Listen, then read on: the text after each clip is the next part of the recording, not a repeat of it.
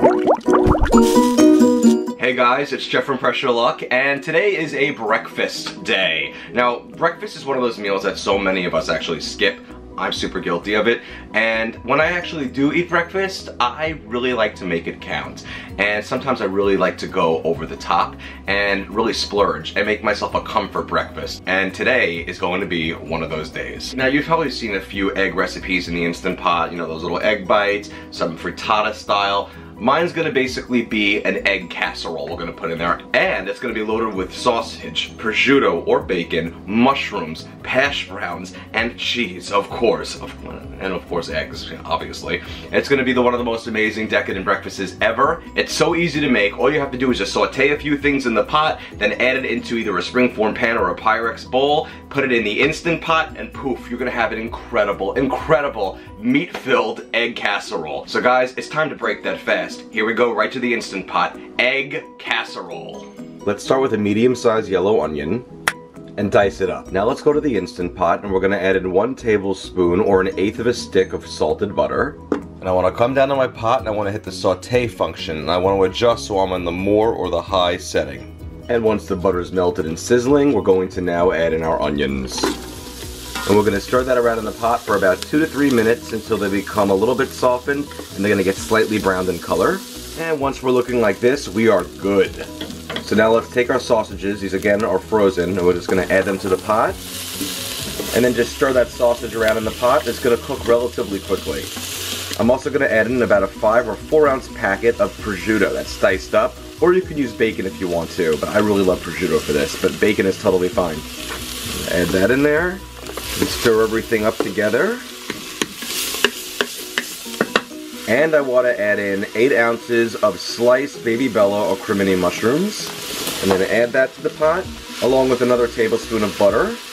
And then just stir everything around. Don't worry about the bottom of the pot looking like things might be sticking onto it. Nothing to worry about because we're going to take all this stuff out of the pot after we're done sauteing it. Okay, and once we're looking like this, we are good. Let's turn our pot off and take everything out of it and put it inside of a bowl for the time being. Let's come back down to the pot and hit the keep warm or the cancel button. There we go. Let's put that all inside of a bowl. It smells incredible. Okay. Perfect. And also, feel free to take the sausages and just cut them up into little pieces too. So just cut it up like this and just add it back into our bowl. And there we have it, our mushrooms, our onion, our sausage, and our prosciutto or bacon. But I really love prosciutto for this, guys. All right, now let's set this aside and focus on our eggs. Now we want to take our bottom of our pot and we can rinse it out or honestly we can just leave it how it is. It's not even going to make any difference because we're simply going to put the trivet and some water in there when we cook our egg casserole in our 6 inch springform pan which by the way let's get there now. So I want to take 8 large eggs and crack them into a bowl. And to that I want to also add a third of a cup of half and half or you can use regular milk or heavy cream but half and half is what I'm using. And then whisk everything up. And after we've whisked it up so it's nice and combined, we're good. Don't, don't, worry about seasoning the egg mixture with anything. We already have plenty of flavor going on with our sauteed onions, mushrooms, sausage, and prosciutto or bacon. What I do want to add to this though are some chives, okay? I'm just going to take a few of them and chop them up and add them in. Alright, you see that? And I'm just going to add those into the eggs.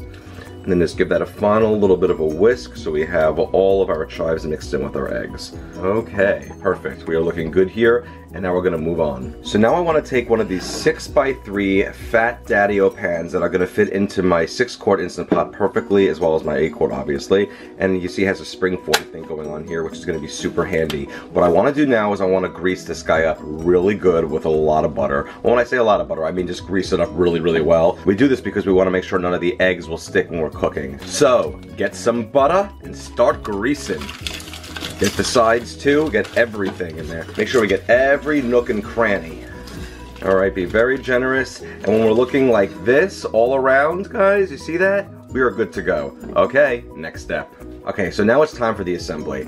I want to start with some hash browns. Now, if you can find these kind in your supermarket in the frozen section, awesome. If not, you can use tater tots. You could even use those flat, frozen, rectangular hash browns, like the kind you get at McDonald's for breakfast, you know what I'm talking about? You can lay that on the bottom. But I feel like these are to be the easiest to do, so I'm going to add these in there. And I'm going to add in just enough to coat the bottom of the pan. So we're kind of like this. It's okay if some overlap, that's fine, but we really want all the hash browns to cover the bottom of the pot so they create kind of, I don't know, like almost like a crust of potatoes, if that makes sense. Now let's add in our entire mixture that we cooked in there with our onions, our meats, all that stuff. And press it down a little bit. We want to make sure everything fits nicely. Now let's sprinkle on a layer of some cheddar cheese or any cheese of your liking. Make sure we get it pretty generously in there. About a half a cup to one cup is perfect. And last but not least, let's pour in our egg mixture over everything. There we go, right inside of our pot. Just make sure we slowly pour it in. And some of it might want to spill onto some of the sides of the pot since it's a springform pan. That's okay, don't worry about it. Just make sure all of our egg is inside and just slowly pour it in so it can seep. And then kind of just take the egg and make sure it's all kind of evenly dispersed throughout the top, just like so. Very good. And now let's cover the top with some foil. Don't be super, super tight on the top. Leave a little room because again, we have that cheese up there. So just be careful. Or you can use some non-stick spray on top or you can also use some non-stick foil and now we're good to go. Okay, let's go to our pot. And by the way, in case you don't want to deal with the eggs running a little bit through and seeping through the bottom of the springform pan, which might happen, and that's okay if it does. Nothing to worry about at all. It's not going to affect anything. By all means, you can cook this in like a Pyrex bowl that's about, you know, seven inches in diameter maximum. I wouldn't go any bigger than that. Okay, let's put our liner pot back in the Instant Pot. Again, you can clean this out if you want because we're just putting the trivet in there. Put the handle sides down like that, as well as a cup and a half of water. Now I just want to lower my pan inside the pot using the top so you can grip it and just lower it in there. Let's take our lid and secure it. Make sure we're in sealing position. And now I want to hit the pressure cook or the manual button depending on your model. And I want to go for 30 minutes guys on high pressure. That is it. On the Duo series you'll have the less than normal and the more setting also for pressure cook level. But don't worry about that. I always leave it on normal. We just want to make sure it's on normal and on the high setting on the Duo Plus. On the Duo series you won't have that option. Now that we're finished, let's do a quick release.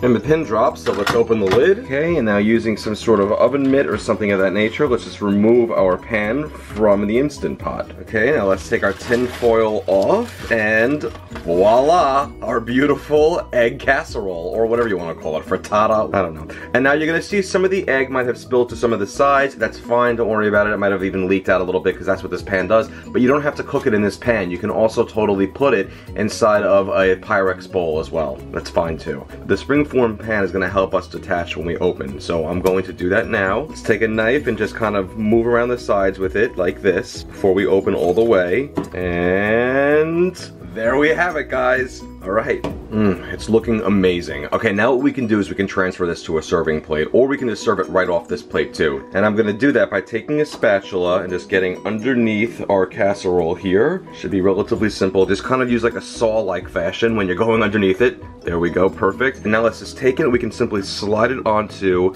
a plate to serve. So we are perfect just like this. Easy transfer. Okay, now let's try it out.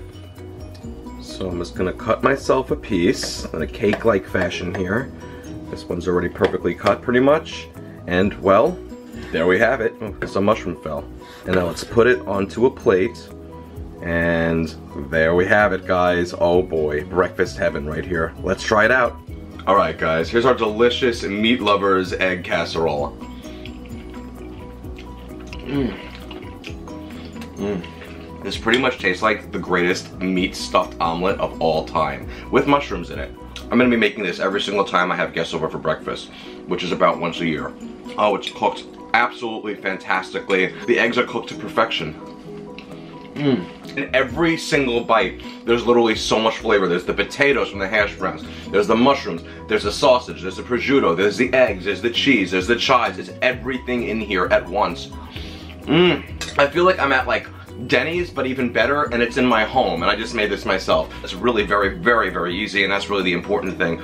And it's really very much a set it and forget it recipe, and it's gonna cook perfectly when you put it in the pot. I honestly can't get enough of this because I love sausage and bacon and eggs and cheese. I mean, potatoes too, I mean, come on. I gotta wake Richard up so he can try this.